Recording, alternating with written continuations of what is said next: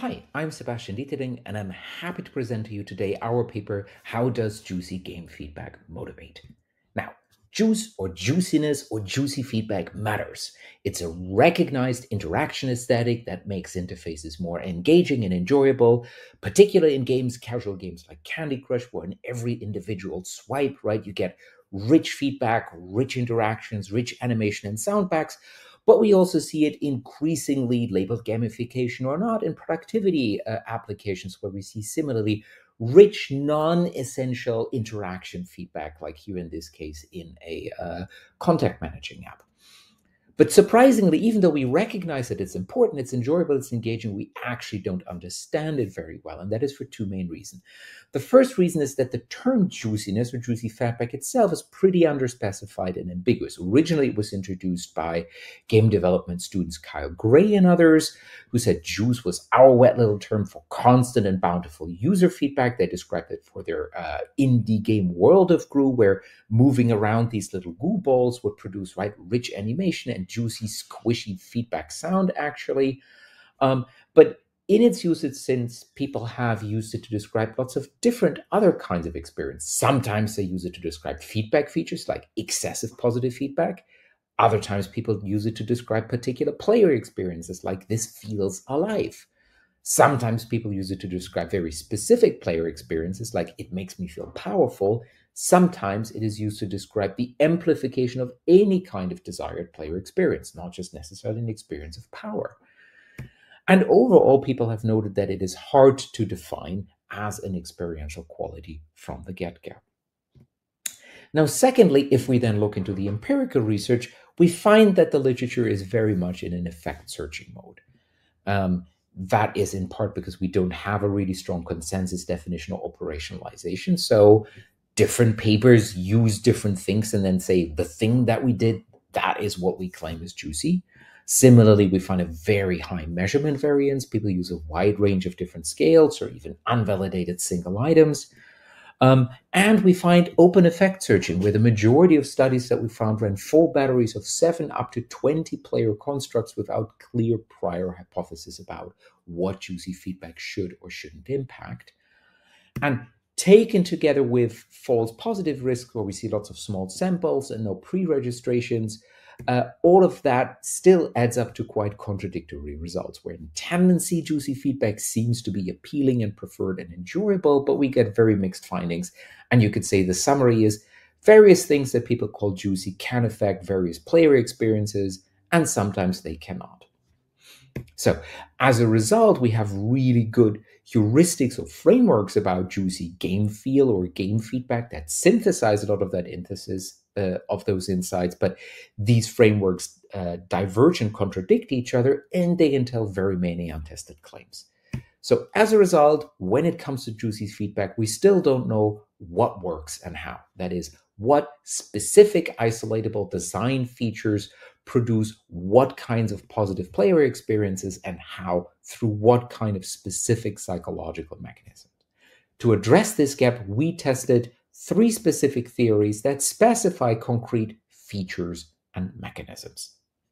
The first theory that we tested is effectance theory that was originally introduced by Robert White, the forefather of intrinsic motivation in psychology, but effectance theory has particularly been appealed to by Christoph Klimmt, a media psychologist, to explain one of the appeals of games.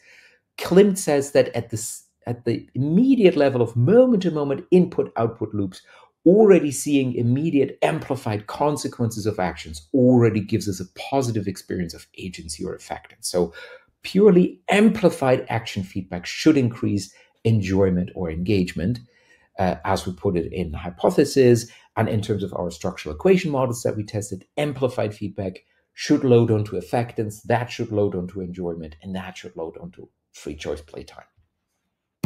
Now compare that to self-determination theory, which makes a slightly different claim when it comes to this kind of juicy feedback. Here, Scott Rigby and Richard Ryan in Glued to Games propose that it's not just amplified action feedback, but that it is feedback on succeeding at challenging tasks, so success dependent feedback that satisfies our needs for competence. And that competence need satisfaction is what drives enjoyment and it is what drives then free choice playtime. And they give Guitar Hero as an example for this kind of granular success and competence feedback. Thirdly, as I proposed in my own work on gamification, um, it may be that in games like Candy Crush, it's not just competence or effectance, but it's also curiosity that makes juicy feedback motivating. And that is because feedback is so varied and so uncertain, so surprising what happens, that this kind of uncertainty and a variety, so amplified, varied feedback, is what drives enjoyment and engagement mediated by curiosity. And to test these three competing theoretical claims, we built a custom single player action RPG in order to manipulate different feedback conditions. We did 20 minutes of write testing and expert review uh, in order to make sure that our different conditions were actually playable, they were equally hard, and they actually manifested our three different theories. Uh, we created two times two plus a control condition to vary amplification, success dependence, and variation. Um, so in the standard condition, the control condition, you, players just got minimal necessary feedback on all actions, and I'll show you that condition here. So right um, on swinging swords or hitting the enemy, you just see kind of the, the, the enemy health bar going down. In the amplified, non-success dependent, non-varied condition, people would see single effects already on sword swings that would be amplified, but also on hitting an enemy, on killing it, while in the varied condition, these kind of amplified feedback would be varied.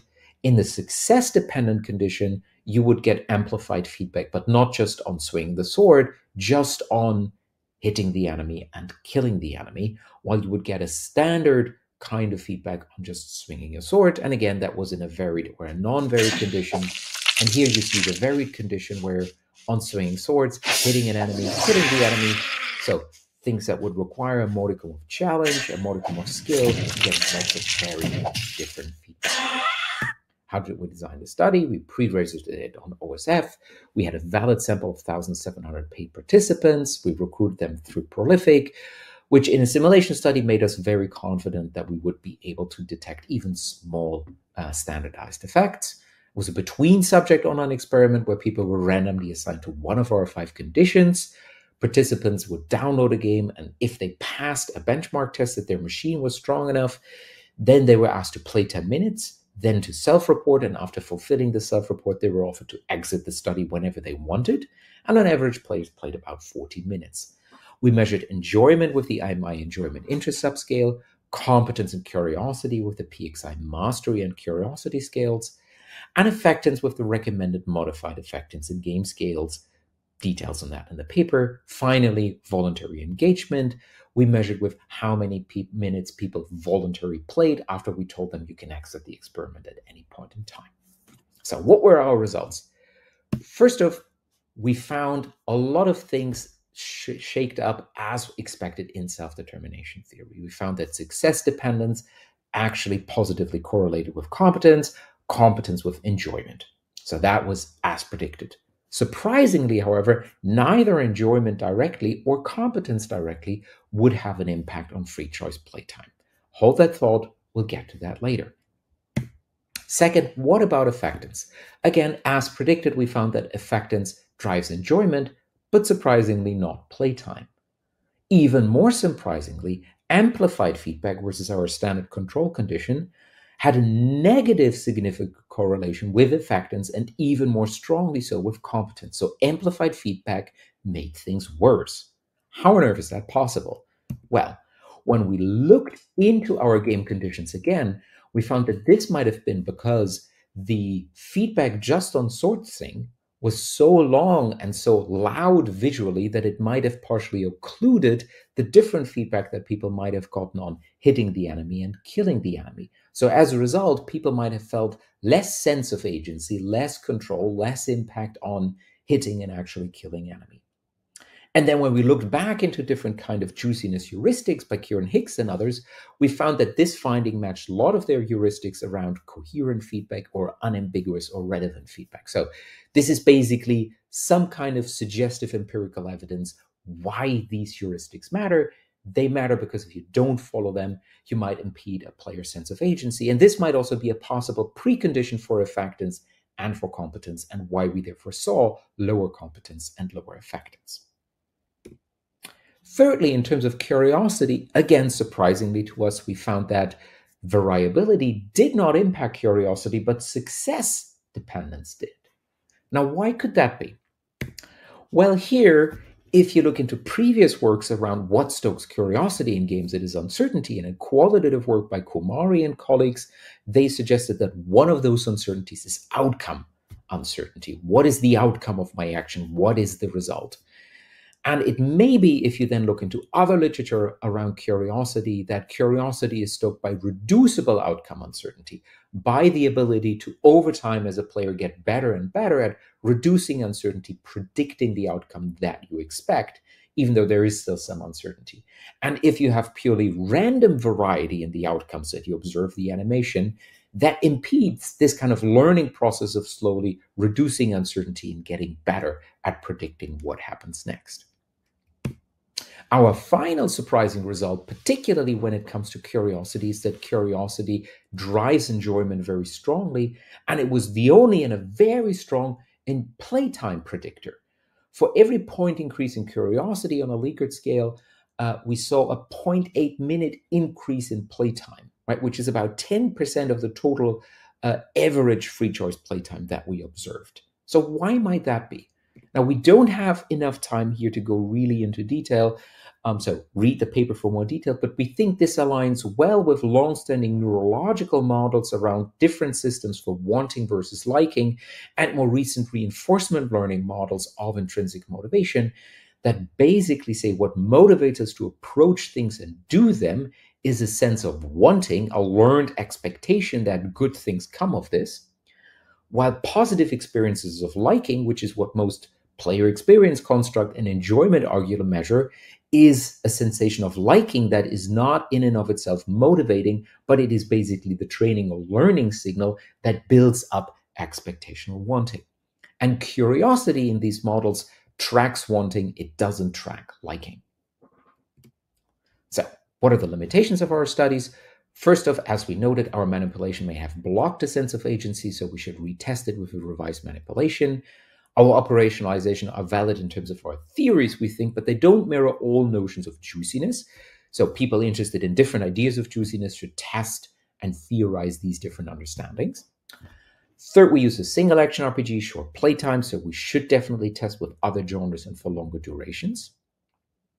Finally, while between subject designs like the one that we used are arguably more ecologically valid, they're less sensitive to subtle effects, so if we really want to test for the absence of subtle effects, we might want to use the within subject design.